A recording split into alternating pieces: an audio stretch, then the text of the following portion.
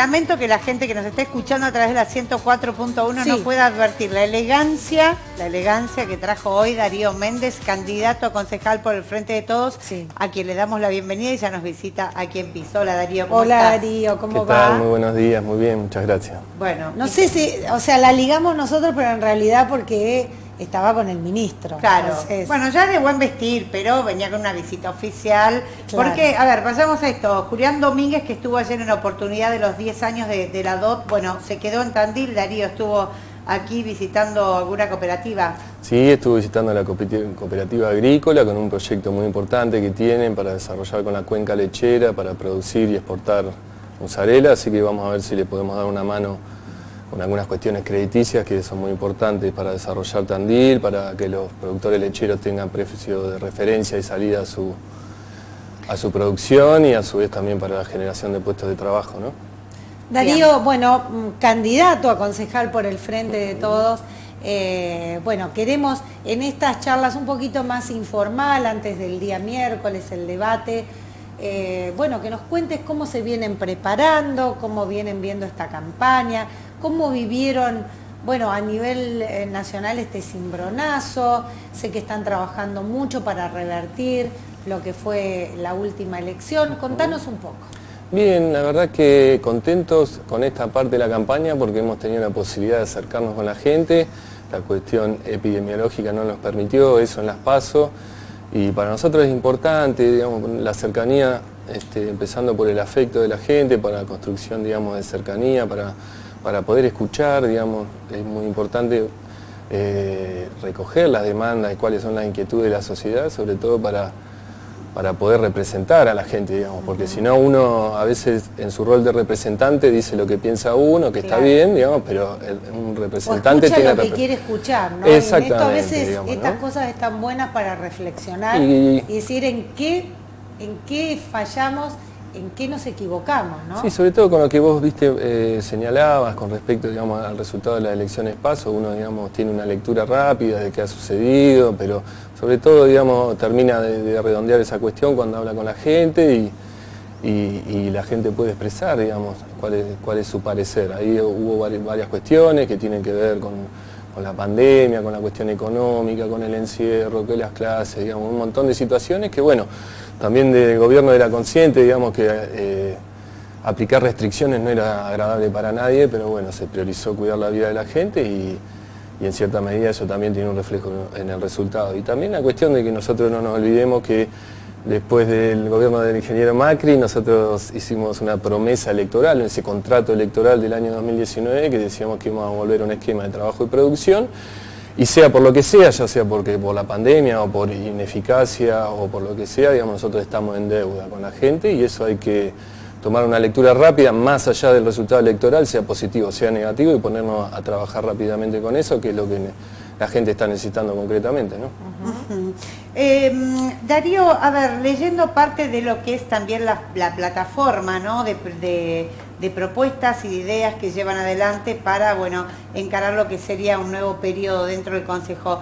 Encuentro allí que existe la posibilidad de, eh, o, la idea de crear eh, foros, agencia, Consejo de la Industria, Consejo Económico y Social. O sea, procurar como distintos lugares institucionales donde se puedan dar los debates más allá del eh, lugar por esencia, ¿no? Lo que es el, el recinto. ¿Crees vos eh, particularmente o tu espacio que no están dados esos, esos lugares hoy en la ciudad para, generar debates y a partir de allí distintas políticas públicas? mira, Andrea, nosotros lo que hemos recogido, hemos caminado muchísimo el sector productivo, los sectores productivos de Tandil, y es casi una constante que hemos recogido, es, por ahí una falta de apoyo de parte del Ejecutivo Municipal, de quienes gobiernan la ciudad hace tanto tiempo, eh, con un montón, un sinfín de problemáticas, digamos, desde cuestiones que pudimos abordar nosotros, como ser la escrituración del parque industrial, desde la infraestructura del parque industrial, son dos temas concretos que nos pusimos, ni bien dialogamos con quienes eh, allí producen, nos, arremangamos, subimos a un coche y viajamos a La Plata, nos subimos a otro coche y viajamos a Buenos Aires, hicimos venir a los funcionarios públicos, ya sea provinciales o nacionales, que se pongan a trabajar en eso, nos pusimos a dialogar este, con los empresarios con respecto a eh, necesidades de capacitación y coordinamos con la Universidad Nacional del Centro, como que hay una necesidad de acompañamiento, de escucha, de, de arremangarse y ponerse a trabajar. Ahí nosotros tenemos un diagnóstico que hay que planificar Tandil, con este área específica que es el trabajo de la producción hay que planificarlo en conjunto con el sector privado y con la universidad, diagramar una estrategia, poner metas, esas políticas públicas, llevarlas adelante y evaluarlas, evaluarlas para ver si realmente este, lo que uno está haciendo, lo que se está haciendo en conjunto sirve o no sirve para Tandil, sirve o no sirve para el sector productivo. Parece que es uno de los sectores que mayor acompañamiento necesita.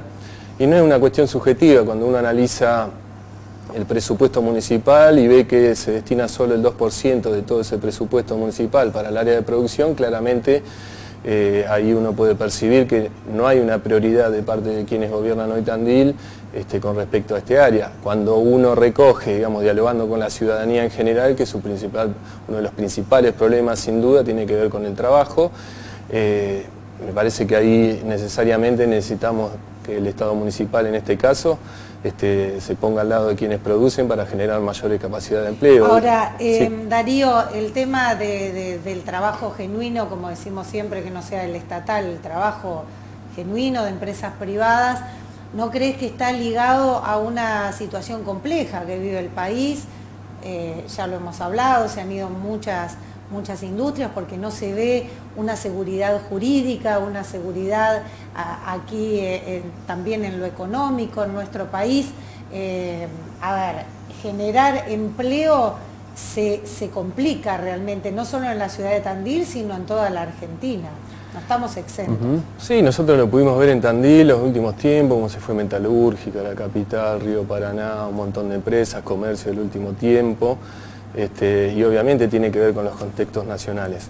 Eh, contrariamente a lo que vos decís, cuando uno recorre el entramado productivo, se está generando empleo, incluso acá en Tandil está el sector metal mecánico, está generando empleo, han incorporado ya más de 100 personas en lo que va de este año, están comprando capital de trabajo y están exportando, el sector agropecuario está en uno de sus mejores momentos, el año pasado y este año han sido excelentes para, para el sector en cuanto su trabajo, la generación de exportaciones.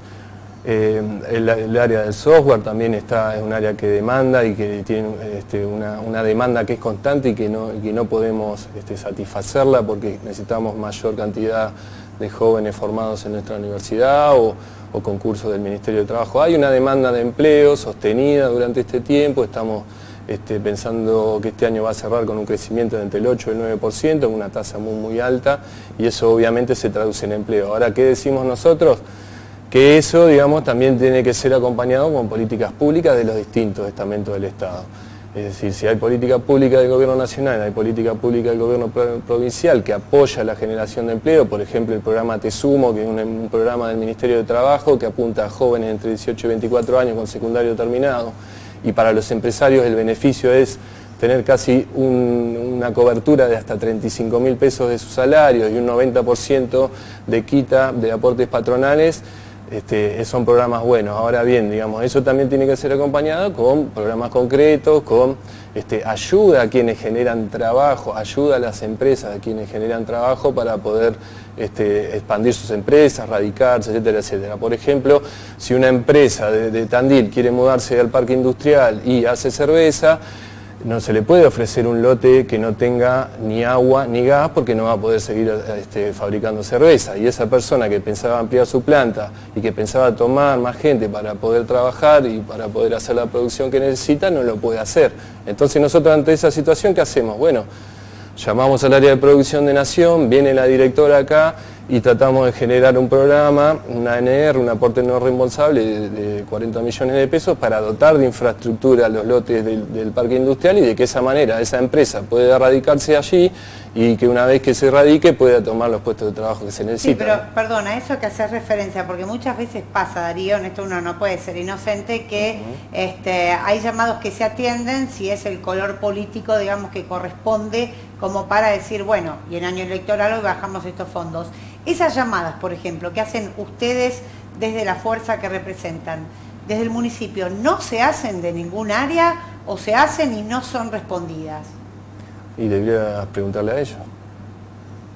yo sé, ponele una cuestión. El oficialismo Eh, siempre se queja como que hay No, porque una perdón, intendencia perdón, paralela. porque por ejemplo ¿no? cuando este, llegó ahora la, la manera de este, poder regularizar las tierras de todos aquellos que en el parque industrial tienen instaladas y montadas fábricas ¿no? de, de- de millones de pesos, se venía pidiendo hace mucho. es una gestión que inició el municipio hace un montón de tiempo y que provincia por una o por otra cuestión venía como este, peloteándola. A mí me consta porque he hablado con, con muchos actores respecto a esto, con los involucrados, con gente del municipio, y ahora parece que, bueno, finalmente se destrabó. Decían, en algún momento se va a destrabar, pero también tiene que ver con un proceso de la burocracia propia, propia del Estado, ¿no? Llegar a- a- a este objetivo determinado.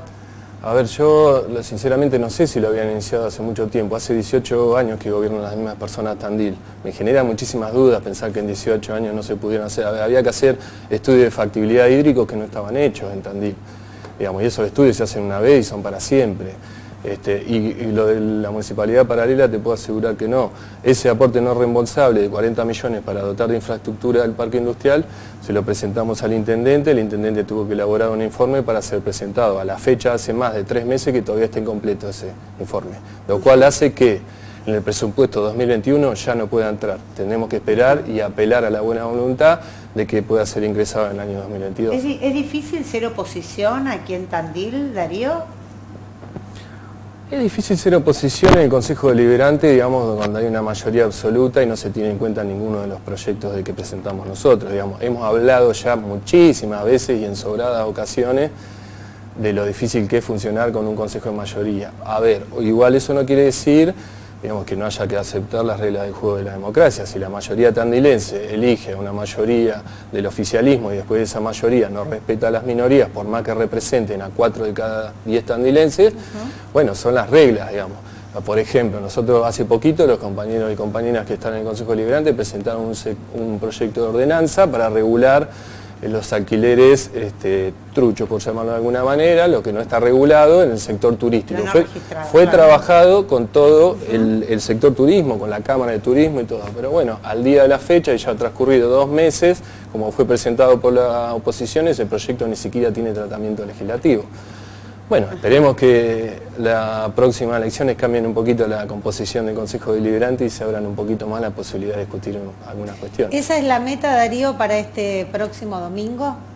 Sí, sin lugar a dudas, nosotros creemos que, que estamos en condiciones de crecer en cantidad de concejales, este, estamos trabajando para eso, estamos dialogando con toda la gente para eso, creemos que, que la oportunidad va a estar dada, en tanto y en cuanto digamos, nuestras, nuestras propuestas sean receptadas por la ciudadanía, entendemos que sí, porque un poco nuestras propuestas no están construidas en el aire, están, sino están basadas en lo que hemos dialogado con la gente, el trabajo, la producción, la vivienda, salud, educación y cuidado del ambiente, que es lo que nosotros hemos recogido de parte de la ciudadanía. Y si no somos nosotros, también es interesante que otras fuerzas políticas nuevas puedan acceder al Consejo Deliberante y poder nutrir un poquito más eh, de, discusión política ese Consejo. También va a ser interesante, digamos, la- las internas que han tenido el oficialismo en Tandil y que seguramente va a haber posiciones políticas distintas hacia adentro por lo que han manifestado, digamos, yo no soy quien para ser exégeta de nadie, digamos, pero es lo que han manifestado públicamente, así que bienvenida sea la discusión, bienvenida sea la posibilidad de que este, se puedan enriquecer las distintas posturas, los distintos pareceres,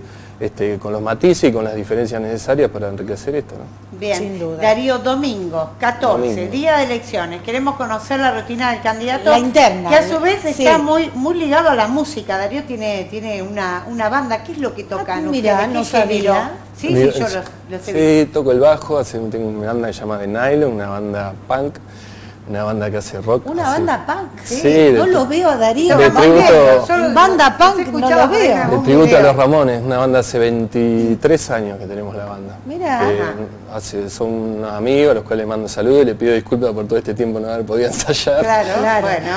Pero sí, el domingo bien, tranquilo, en familia, eh, disfrutando un rato de, de mis hijos, que seguramente tendré que cuidarlos porque su madre va a estar fiscalizando en una Claro. escuela, así que las tareas ¿Cuántos chicos tenés? Tres, tres nenes, varones, Mirá. de 14, 11 y 6 años, eh, que me acompañan bastante y bueno, también me- m- sufren mucho las ausencias también. Claro. Seguro. Pero bueno, es lo, lo que su padre ha ¿Alguna cábala en especial? Una no sé, que, que repetís un- la misma ropa, ropa interior, el mismo zapato, la- no sé, No, ¿alguna tengo, cábala? pongo un rosario que me regaló el obispo que está bendecido por el Papa, como para, no por, para cuestión de suerte, sino para que todo salga en orden y que no haya problemas, digamos, que sea una jornada democrática donde toda la gente o la mayor cantidad de gente que concurra ahí lo pueda hacer en forma Pacífica. pacífica, normal, tranquila, con, con- con alegría, con la posibilidad que te da la democracia de poder elegir y, y cambiar lo que a uno no le gusta y ratificar lo que a uno le gusta. Me parece que eso es lo importante que tenemos que recoger Bien. todas las fuerzas políticas.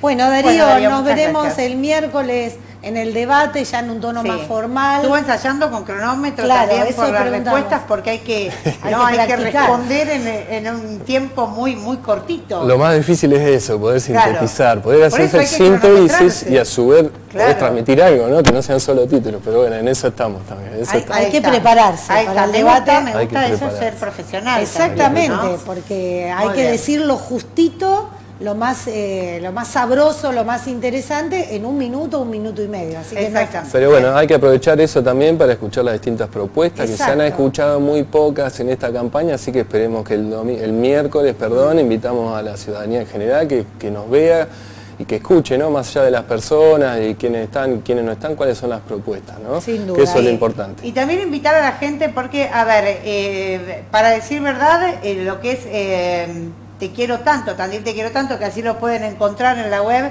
las propuestas eh, sobre los ejes centrales eh, de lo que es el Frente de Todo es muy amplio en relación a lo que por ahí han presentado otras, otras fuerzas políticas, pero bueno, cada uno las puede mirar a través de internet. eh, hay, hay distintos puntos eh, desarrollados en mayor o menor escala. Y si no, que, miren, bueno. el miércoles que miren el debate. Ah, no, eso por acá supuesto. Vamos a tener Eso todas por las supuesto. propuestas.